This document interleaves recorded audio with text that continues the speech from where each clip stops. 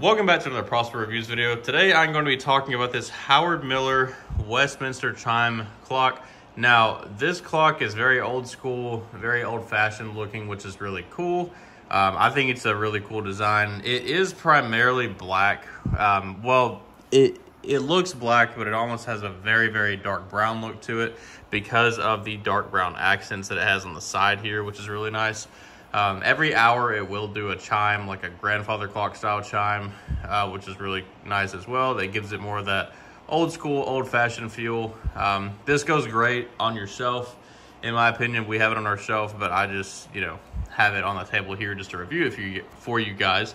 Um, but I absolutely love this clock, and it's one that I think you will love as well if you want a clock that has that more old school, um, you know, just old fashioned feel to it.